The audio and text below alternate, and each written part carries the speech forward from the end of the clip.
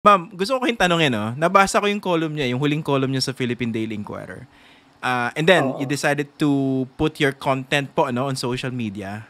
What happened po ba? What happened? What do you mean, what happened? What happened to with you sa what? Inquirer? Oh, Uh, no, they, they, which they prompted you to to shift to social media?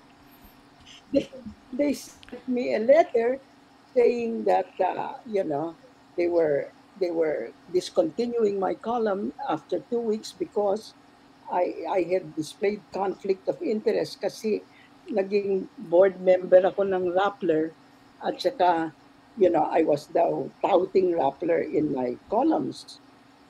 And that was conflict of interest. And and so they, they and that that merited my being removed as a columnist. And I was so shocked kasi sabi ko Diyos ko po naman board member ako ng Rappler for years ngayon lang nila ngayon lang nila napupuna yon tapos yung yung when I first joined Philippine Daily Inquirer at 20 years ago can you imagine? 20 years ago I was writing nagsusulat ako para sa business world. Mm. for next 10 years, I was writing for Business World and writing for for Daily Inquirer. So so I was writing for a kasi competing news organization daw yon.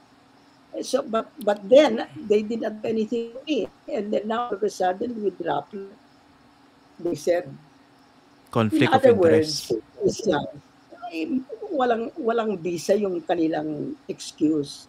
They, I mean, that was such a horrible excuse. I said, you know, at least have the courtesy of some frankness. So I, so I'm up to now. The story of is the story is pinaalis ako kasi uh, naging board member ako ng Doppler. Mm. And that's very unfortunate, no?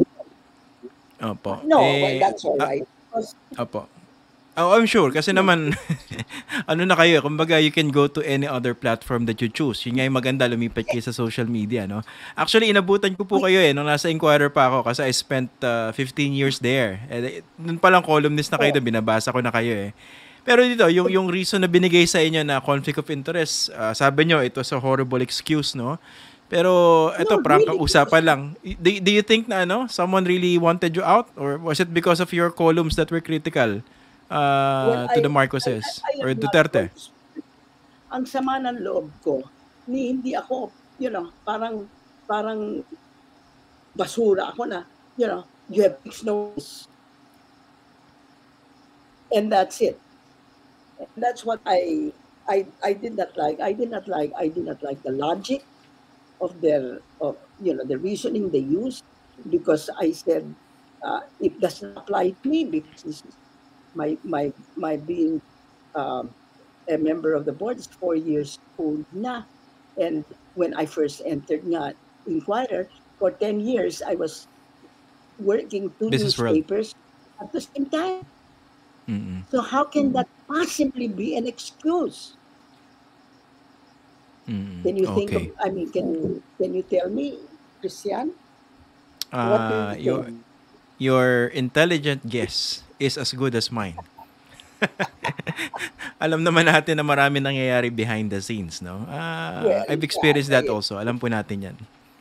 Oo. But you did not, uh, you did not leave Inquirer like no. that. Hindi, Yeah. hindi. Ah, I left because ANC got me. Ang ang ang experience ko da related dun sa experience nyo, yung experience ko sa ABS-CBN because I was unceremoniously fired by Carlo Katig back there. Oh, Ha? ano, what do you mean by unceremonious? Describe Ah, unceremonious. paano ba? Ako na interview ni Maring Winnie, magaling talaga si Maring Winnie, no? Siyempre. Mas let's just say ganito. I, let's just say I signed a contract now. Less than three, less than a week later, I was uh, given my, ano, walking paper. Uh, for example, sinabi sa akin ngayon. Hindi, kunwari sinabi sa akin ngayon, uh, i-discontinue yung program mo. Sabi ko, kailan effective? Immediately? Tonight. I mean, Wow. what kind what kind of firing is that, 'di ba? Hindi ka man lang binigyan ng, oh, siguro in the next two days or two episodes, pwede pa. Immediate, effective immediately. So, ganun yun. Ako na, interview ni Maring Winnie, ha? Salamat sa PDI kasi two weeks binigay sa Oo, mas maganda yun sa inyo. Lang, no, but, but did you ask, did you talk to to your uh, Hindi, ang, ang, ang official ang official line that was given to me na ano, it was uh, tawag dito, my brand of journalism is not aligned with the uh, direction of the company. Okay? Pero you know that's BS, 'di ba? Ah, hindi ko na ikikwento, marami pang mara- nangyari diyan. Oo. No, but but you know, so you so you said what brand? Would you tell me what? Because I, as I recall, you are. I mean, I enjoyed watching you because you were, you just were so frank and you were so so balanced. You you always gave both sides. So what what? Mm. Th- that's not a good brand. Yung being balanced and giving both sides. Ah, And research- siguro yung, yung yung brand, it's better to ask uh, the the CEO kung ano yung brand ng company niya, ng brand of journalism na gusto ng company niya. Pero I was told hindi aligned yung brand of journalism ko. Eh ang sa akin naman that's how journalism should be, 'di ba? Kumbaga no no BSS allowed. Yeah. Oh, I'm so sorry. I, I mean, it's their loss. So no problem.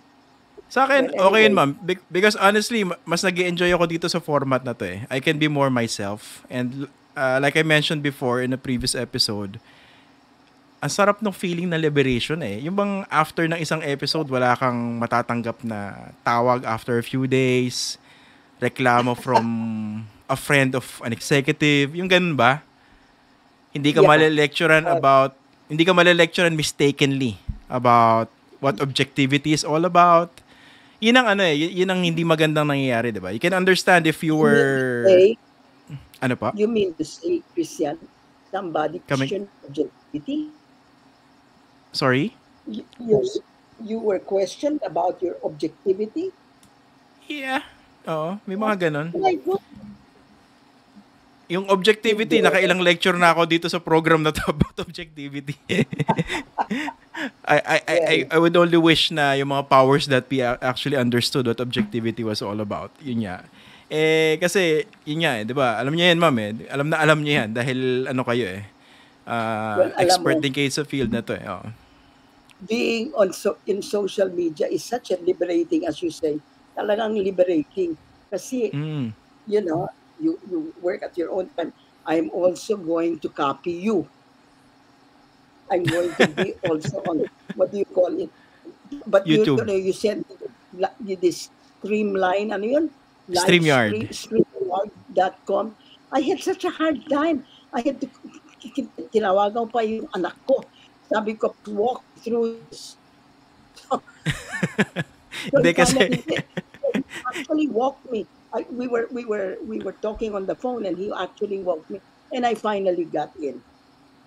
so when I learned this thing, naku, watch out yan.